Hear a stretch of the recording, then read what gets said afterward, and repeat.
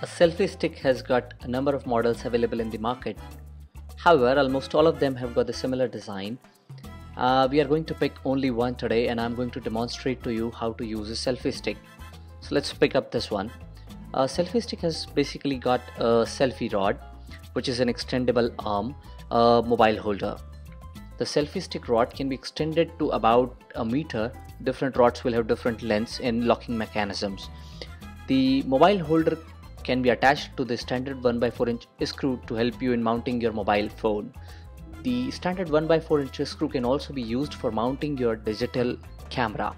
Uh, the different uh, devices have different load capacities, so this one can take up to 2.5 kgs. Okay, so the, the holder designs are also different. We are going to attach this holder to the rod and see how to mount the mobile on the selfie rod and click the selfies.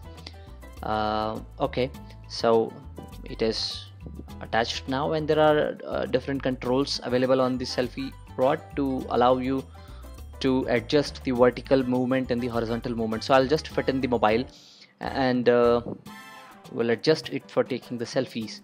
Okay. So I'll just adjust the vertical uh, angle uh, or the angle about the horizontal axis uh, as it suits me and uh, I have also got a horizontal control which allows me to adjust the direction of the phone.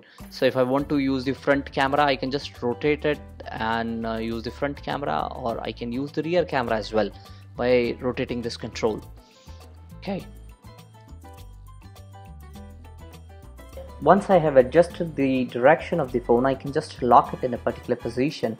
I can extend the length of the arm and then after setting the mobile on timer, I can click as many selfies as I like.